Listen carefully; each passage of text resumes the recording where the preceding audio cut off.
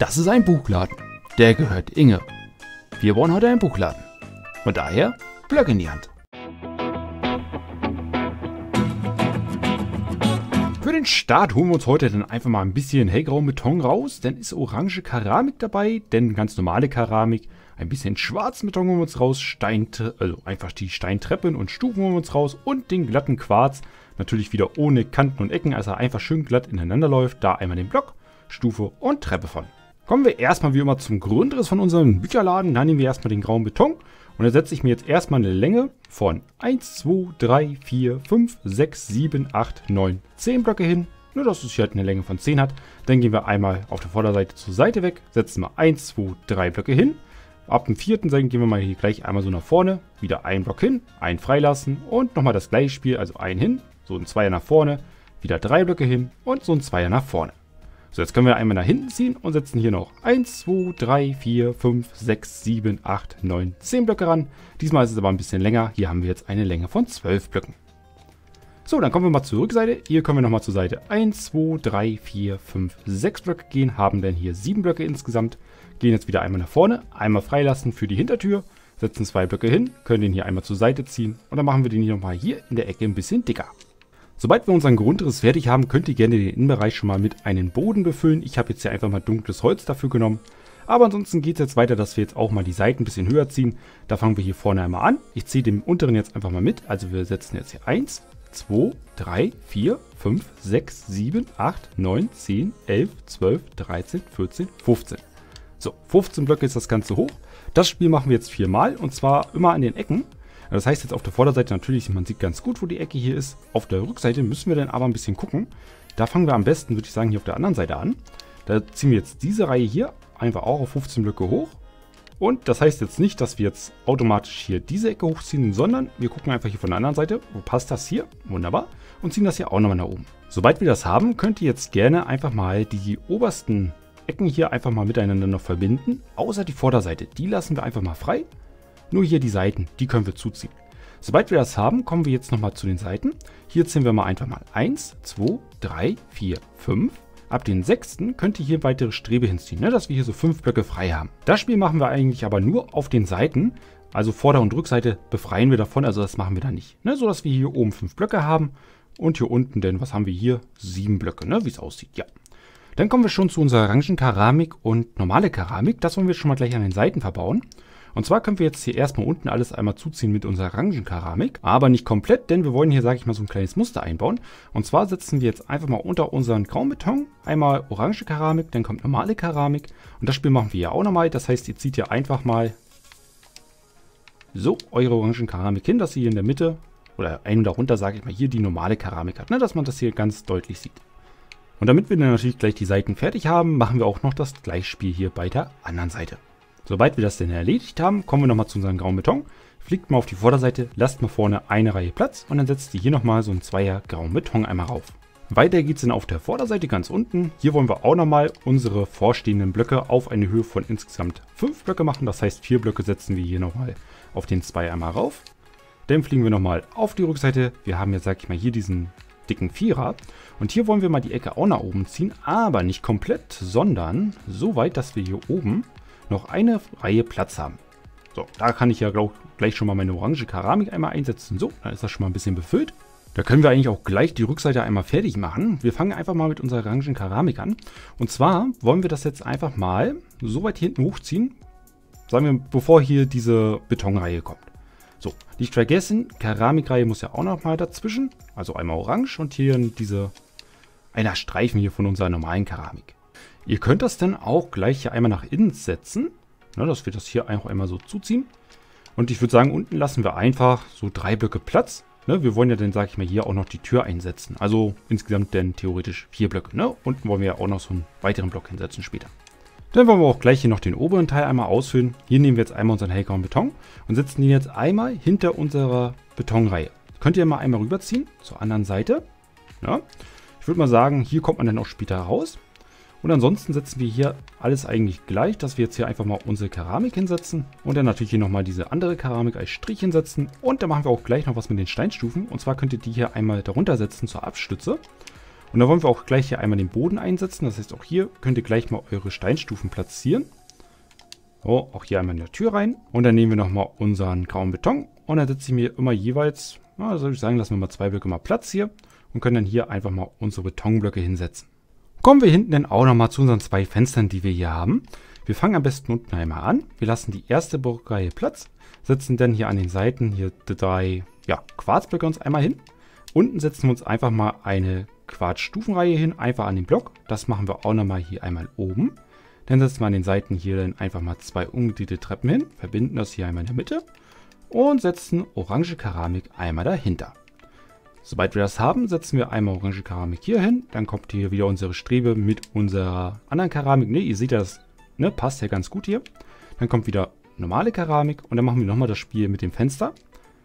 Das heißt, ups, wir lassen jetzt erstmal eine Blockreihe Platz. Dann setzen wir hier einfach mal ähm, ja, drei Quarzblöcke hin. Machen wir auf der anderen Seite genauso. So. Dann setzen wir einmal unten unsere Stufen an. Dann nochmal einmal oben ansetzen. Und hier dann wieder die Treppen in die Seiten. Und dann hier einfach nochmal die Stufen hin. So, auf der anderen Seite können wir das gerne hier dann auch gleich einmal verkleiden. So. Wer möchte, kann auch gerne sich auch gleich hier das schon mal alles schön glatt machen, ne? wenn wir später das ja sowieso einrichten wollen. Ne? Dann kann man das hier gleich einmal so ein bisschen zuziehen.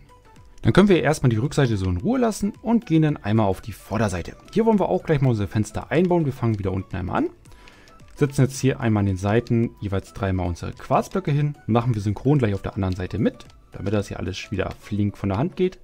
Unten setzen wir einmal Stufen hin an unsere Quarzblöcke und einmal oben hin. Andere Seite genauso. Unten wie oben. Zack.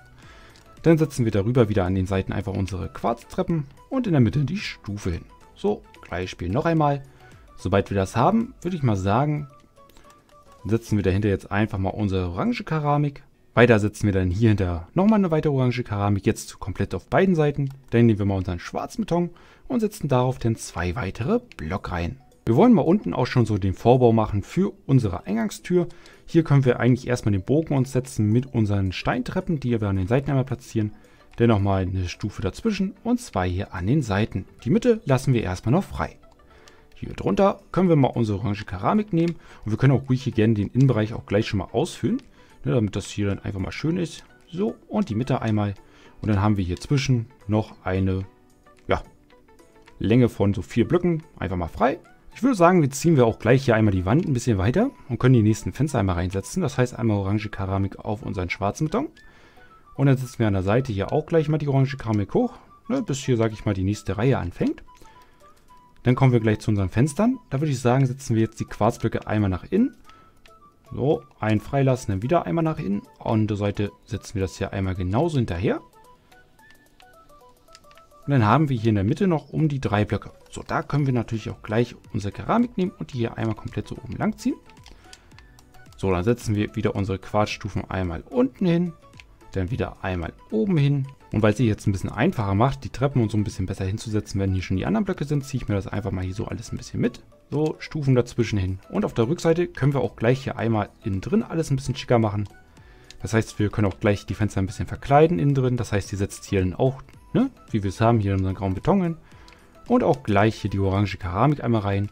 Wenn ihr natürlich euch da irgendwas reinbauen wollt in die Wand, dann könnt ihr es natürlich freilassen, wenn ihr das Spiel euch einrichten möchtet. Aber ansonsten könnt ihr ja alles einfach glatt innen drin zuziehen. Weiter geht's denn, dass wir hier drauf dann nochmal drei weitere Reihen von unserer orangen Keramik uns platzieren. Zweite Reihe und hier dann noch die dritte Reihe. Da wollen wir nun das nächste Fenster uns einmal hier natürlich platzieren. Da fangen wir jetzt erstmal mit unseren Steintreppen an. Setzen wir hier so zwei, die sich gegenseitig angucken. Dazwischen dann einfach noch eine Stufe hin. So, hier auch nochmal. Dann kommen wir wieder zu unserem grauen Beton. Da setzen wir einfach nur 1, 2, 3, 4 Stück hin. Andere Seite genauso. Dann können wir auch hier gleich schon mal unsere Stufen einmal platzieren und auch gleich hier das Fenster einmal reinsetzen. Ist genau das gleiche Maß, wie wir die gerade eben schon hatten. Ne? Ziehen wir uns hier einmal rein, oben auch nochmal die Stufen hin, kommen wieder hier einfach mal unsere Treppen an die Seite hin, zack und fertig. Gut, dann wollen wir natürlich auch hier nochmal alles ein bisschen verkleiden. Das heißt, an den Seiten setzen wir einfach mal unsere ja, äh, Keramik einmal hin. Oben können wir sie auch nochmal setzen. Und jetzt habe ich einfach wieder zu viel gebaut. Und zwar hier oben setzen wir mal weg, weil da wollte ich nicht unbedingt sowas machen, sondern da setzen wir einfach mal die Steintreppen hin. Ja, zwischen dann auch nochmal eine Stufe.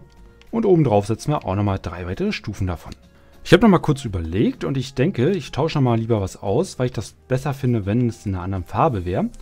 Und zwar immer unten bei unseren Fenstern überall hätte ich doch lieber gerne glatte Steinstufen. Ich finde einfach, das sieht schicker aus. Ich habe das jetzt nochmal beim anderen Bau nochmal geguckt, wie das da aussieht und das gefällt mir einfach doch besser. Daher tausche ich mir das hier alles nochmal aus. Auch natürlich die Rückseite, nicht, dass wir die hier einfach mal vergessen. Oh, das gefällt mir schon eher. Und bevor wir jetzt all diese Blöcke einmal wegtun, setzen wir nochmal zum Schluss einfach zwei Stufen hier vorne einmal drauf auf unseren grauen Beton. Weiter geht's jetzt hier mit polierten Andesittreppen, denn Hum und Stein ziegeln Mauern raus, davon die Treppen und Stufen sind dabei. Denn rote Nähterziegel Blöcke, Treppen und Stufen holen wir uns raus, ein bisschen Eisengitter und ein Steinknopf. Jetzt weiß ich gar nicht, wo ich am besten anfange. Ich glaube, mit den polierten Andesittreppen geht es erstmal los. Und zwar vorne setzen wir dann hier einfach mal diesen Tritt hin, dass man auch schon mal hier gut reinkommt. Und ich würde sagen, da kommen die verbauen wir auch gleich hinten, dass die erstmal weg sind. Auch hier hinten setzen wir uns dann Tritt hin. Und ihr könnt jetzt entscheiden, ob ihr euch das einfach mal so machen wollt oder hier an der Seite die Treppe so ein bisschen anecken. Ne, das ist so Geschmackssache, wie man es besser findet. Dann kommen wir gleich zu unseren Mauern. Die Mauern sind dafür gedacht, dass wir die einmal unter unseren Fenstern platzieren. Da, wo wir jetzt überall halt die eine Fläche freigelassen haben, setzen wir dann hier gleich mal unsere Mauern hin. Und wenn wir schon mal auf der Rückseite sind, verbauen wir auch gleich mal die Gitter. Die setzen wir uns hier einfach beim Balkon einmal dazwischen, dass hier auch keiner runterfällt. Dann geht es einmal noch auf die Vorderseite, denn da sind unsere Fenster auch noch offen. Von daher hier Zack, Mauern einfach mal darunter setzen. Bei den oberen Fenstern brauchen wir zwar keine Mauern setzen, dafür setzen wir hier drunter einfach mal eine Treppenreihe. Weiter geht es denn über diesen Fenstern. Da lassen wir jetzt hier bei dieser orangen, orangenen Keramik einfach mal die Hälfte unten frei, setzen da dann einfach eine Stufenreihe hin. Darauf könnt ihr auch gerne gleich eine Route, die ihr zieht, Treppenreihe einmal setzen, aber nicht komplett. Die Mitte schlagen wir nochmal frei. Das sind drei Stück. Da setzen wir dann einfach mal zwei umgedrehte Treppen hier an den Seiten, normal in der Mitte und dann hier oben nochmal einfach drei umgedrehte, aber die ecken sich ja einfach mal so ein bisschen an. Das ist so ein bisschen Fassade hier fürs Häuschen. Sobald wir dann die Vorderseite fertig haben, kommen wir jetzt mal zum Dach. Da nehmen wir jetzt erstmal unsere roten Niederzieht-Blöcke. Die platzieren wir jetzt erstmal hier einmal an der Seite. Darauf setzt ihr dann eine Treppenreihe hin. Das machen wir dann gleich Spiel nochmal auf der anderen Seite erstmal, bevor es weitergeht. Also erstmal Blockreihe hin und darauf die Treppenreihe.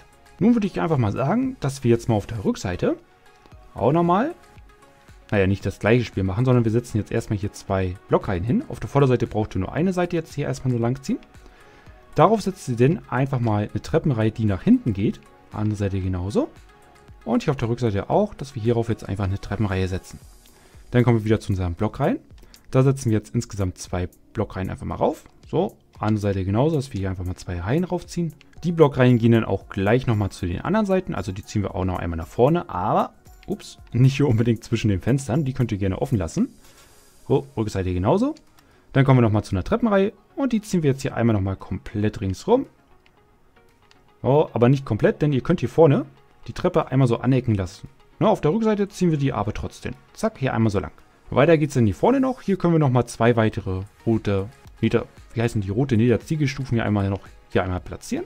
Dann bleibt am Ende nur noch natürlich unser Dach übrig und da empfehle ich jetzt einfach mal ein bisschen grauen Beton, den wir dann hier einmal komplett hier einmal so zuziehen, nur dass es einfach hier das Dach ist. Nachdem wir dann das hier zugezogen haben, kommen wir noch ein bisschen zur Fassade. Wir nehmen mal ein bisschen unsere Mauern raus. Und zwar möchte ich mir jetzt hier einfach mal an den Seiten jeweils hier eine platzieren. Und nochmal hier oben drauf würde ich mir auch nochmal welche machen. Hier in der Mitte mache ich mal drei und an der Ecke halt nochmal ein. Das verbinden wir jetzt einfach mal mit ein paar Eisengittern. Und dann wollen wir die Mauern natürlich noch ein bisschen hervorheben und setzen darauf ein paar Knöpfe. In der Mitte mache ich auch nochmal ein und an der Seite hier. Genauso wie bei denen hier setze ich auch nochmal einfach ein paar Knöpfe rauf. Und wenn wir gerade noch bei Knöpfen sind, können wir auch gerne einmal auf der Rückseite schon mal einen platzieren, wenn wir hier später den Hinterausgang machen. Da brauchen wir später nicht. Und dann geht es schon wieder weiter mit neuen Blöcken. Aber hier muss ich, glaube ich, nicht viel zu viel sagen. Das ist eigentlich relativ übersichtlich. Wir fangen am besten, würde ich mal sagen, mit den Türen an, ne? dass die schon mal weg sind. So, auf der Vorderseite setzen wir gleich eine Tür rein. Ich empfehle wie immer die Schwarzeichentür dafür. Dann gehen wir gleich auf die Rückseite. Denn hier möchte ich mir, ja, was ja, sag ich mal, der, ja, die Rückseite ist, eine Eisentür einfach mal reinsetzen. Dafür haben wir ja schon mal den Knopf gemacht, dass wir auch gut reinkommen wieder. Und wenn wir schon mal auf der Rückseite sind, bauen, wir oben jetzt auch noch kleines ein Vordach. Ne, das sage ich mal, wir hier gut geschützt sind von der Sonne.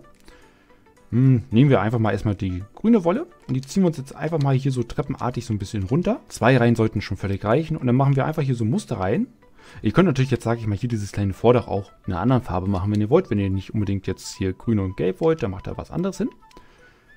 So, ansonsten setzen wir dann hier einfach noch als Halterung ein bisschen Zauntauer mal dazwischen. Eine Seite hier einfach mal komplett gerade einmal ran. Bevor wir dann wieder auf die Vorderseite gehen, bauen wir natürlich auch noch hier bei unserem Balkon auch noch die Tür einmal ein. So, wunderbar. Danach gehen wir wieder auf die Vorderseite, denn vorne möchte ich mir gerne noch eine Lampe platzieren. einfach hier, zack, meine Lampe rein. Man kann auch hier hinten einmal das freihauen. Lampe hinsetzen. Ich mache dann noch eine Falte einfach mal oben rauf. Und dann gehen wir mal in den Laden rein, holen wir dann einfach noch einen Hebel raus und setzen hier einmal rein. Man kann sich das natürlich dann noch verkleiden, ne? aber so haben wir dann hier auch schon mal Licht. Ha, hört auch nicht auf mit Sachen, die wir platzieren müssen. So, bevor wir jetzt die Schrift einmal raufsetzen, gehen wir nochmal in den Laden rein und wollen natürlich jetzt die Fenster hier noch verkleiden. So, wie man sich den Laden natürlich jetzt so leicht einrichtet, zeige ich dir jetzt auch. Ihr seht ja schon, hier ist die Kiste. Fangen wir gleich an, wie man sich den Laden noch innen drin einrichtet.